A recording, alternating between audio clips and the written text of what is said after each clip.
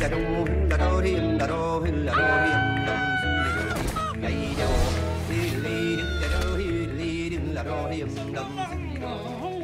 har haft en kanonvecka.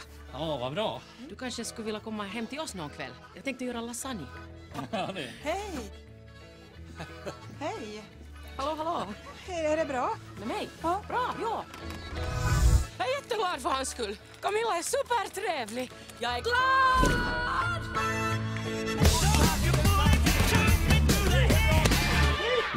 Andra. Jag vill gå attackkurs. Du är snäll. Du vet väl inte vad jag tänker göra med dina ungar? Har du varit gift flera gånger? Fyra. Ja, ja, jag tror på kärleken. Ja, det kan man ju verkligen säga att du gör. Följ med ut istället. Får ligga lite. Rida in en ny hingst.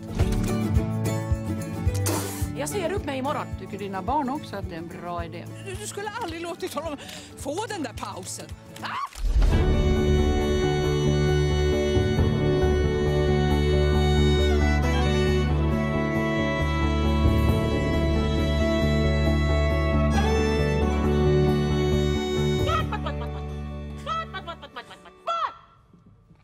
Förvirra motståndaren.